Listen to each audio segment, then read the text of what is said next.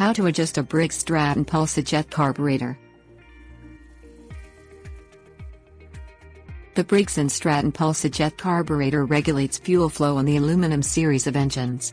The most common application of this carburetor is for small horsepower lawnmowers and rototillers.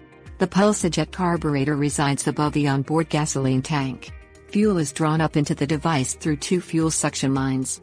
A single needle valve resides near the rear of the carburetor unit, that faces the push handles of the mower or rototiller. The needle valve has a slot-type screw head. Things you'll need. Slot head screwdriver.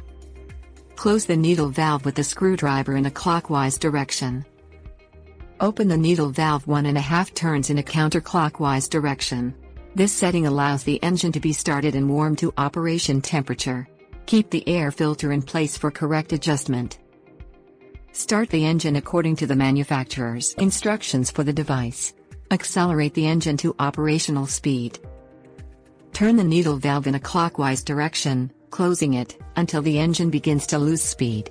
Slowly back the needle valve out, counterclockwise direction, until the engine smooths out. Test the engine under a full load condition.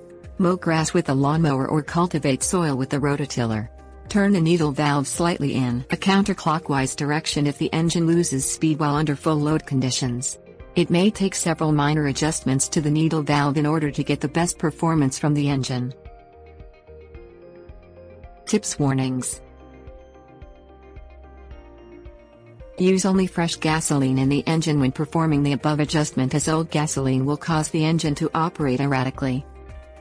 If the device fails to adjust properly after following the above steps, the two fuel suction lines may be clogged. There are small screens in the ends of both plastic tubes. The carburetor must be removed from the fuel tank and the lines or screens cleaned.